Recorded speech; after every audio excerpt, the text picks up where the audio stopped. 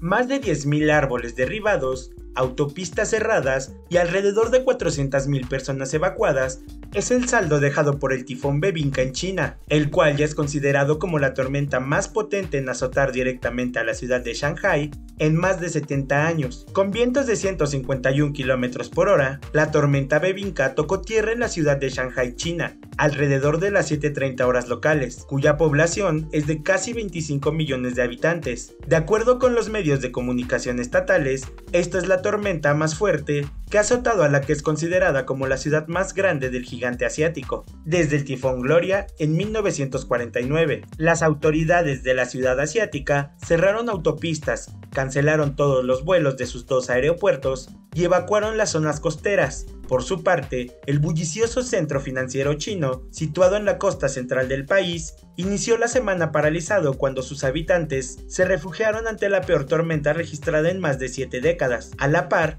los complejos turísticos de Shanghai, incluidos Shanghai Disney Resort, Jinjiang Amusement Park y Shanghai Wild Animal Park, cerraron temporalmente. Por otro lado, el Ministerio de Recursos Hídricos de China puso en marcha el máximo nivel de emergencia ante el riesgo de inundaciones en Shanghai, pero también en las provincias orientales de Jiangsu, Zhejiang y Anhui en donde se interrumpieron algunos servicios de metro y cerraron al tráfico autopistas y carreteras elevadas, o se aplicaron restricciones especiales de velocidad. Cabe mencionar que las autoridades chinas desplegaron a más de 56.000 equipos de rescate y a primera hora de la tarde y hasta la edición de este video solo se había registrado un herido como consecuencia de la tormenta, de acuerdo con los medios locales. Cabe recordar que durante este mes el tifón Yagi tocó tierra en la isla sureña de China de Hainan, dejando a su paso un rastro de devastación en el sureste de Asia. En Myanmar, Yagi causó al menos 74 muertes y docenas de desaparecidos. Además, se reportaron 4 muertes en Hainan y al menos 10 en Tailandia y 20 en Filipinas.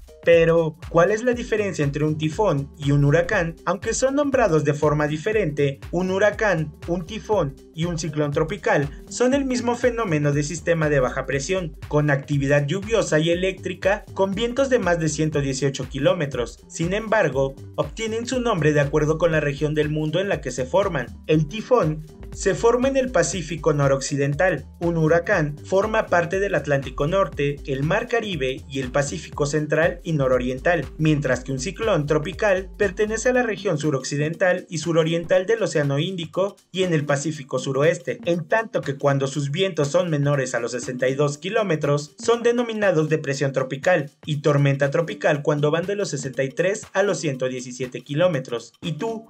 ¿Conocías la diferencia entre un huracán y un tifón? ¿Te fue de utilidad la información? Déjanos tus comentarios.